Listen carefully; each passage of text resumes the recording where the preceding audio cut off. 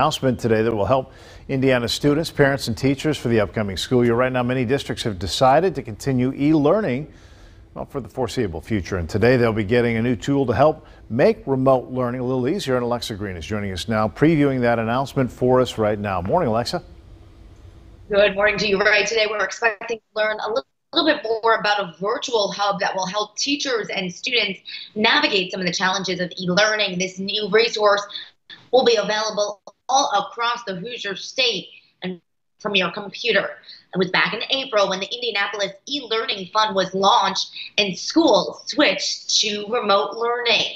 At that time, there were so many challenges. One of the main ones, connectivity and devices.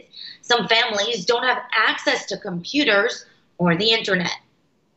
We heard loudly and clearly from the education community and from students and families that it was a struggle to to switch so so drastically overnight to uh, to e-learning. We need some supports to provide not only to families but also to teachers and other educators so that they can be as successful as possible.